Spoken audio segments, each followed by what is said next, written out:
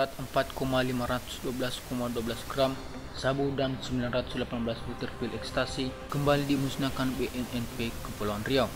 Narkoba jenis sabu dan pil ekstasi ini merupakan hasil pengungkapan dari enam kasus peredaran gelap narkotika di wilayah Batam, Kepulauan Riau.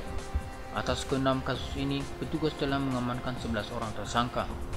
Badan Narkotika Nasional Provinsi Kepulauan Riau BNNP Kepri melakukan pemusnahan barang bukti narkotika yang merupakan barang bukti dari enam kasus peredaran gelap narkotika di wilayah Provinsi Kepulauan Riau.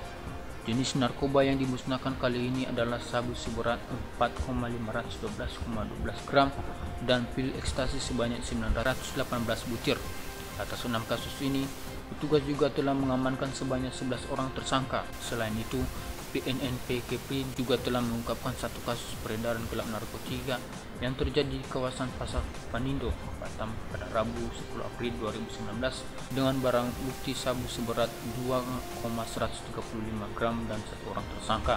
Kepala BNNP Kepri, Brigjen Polisi Rizal M. Nenggolan, mengatakan barang bukti yang dimusnahkan antara lain berasal dari penangkapan tiga tersangka WNI pada 19 Februari 2019 dengan lokasi yang berbeda di Bandara Internasional Hamnadi Batam.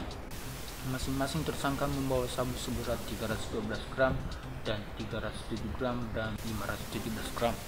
Kemudian hasil penangkapan tiga tersangka dengan 417 gram dan 4 gram sabu pada 20 Februari 2019 di kawasan Lubuk Baja, Kota Batam.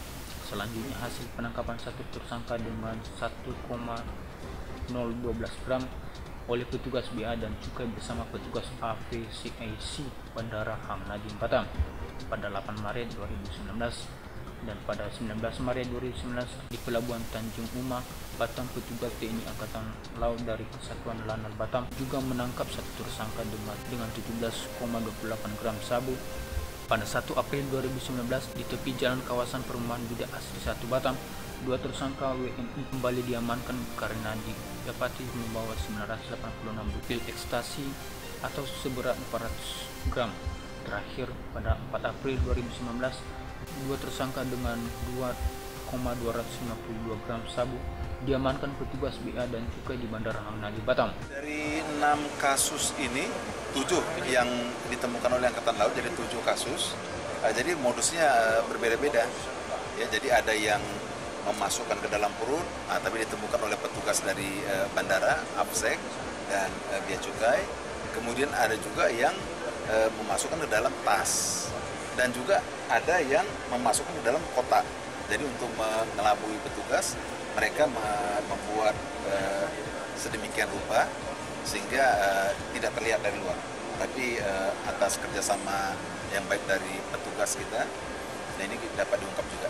E, dari enam kasus itu ya rata-rata masuk jaringan karena sebagian kan barang dari eh, negara Malaysia juga ya dari Malaysia dan dari beberapa kasus yang kita eh, ditemukan khususnya di bandara itu adalah mau dibawa ke luar Batam. Barang putih dari keenam kasus dengan modus yang berbeda tersebut berasal dari Malaysia dan akan dibawa ke luar wilayah Batam. Atas perbuatannya, para tersangka dikenakan pasal 114 ayat 2 dan pasal 112 ayat 2 junto pasal 132 ayat 1 Undang-Undang Nomor 35 Tahun 2009 tentang narkotika dengan ancaman maksimal hukuman mati. Dari Batam, Kepulauan Riau, Andi Sofian melaporkan.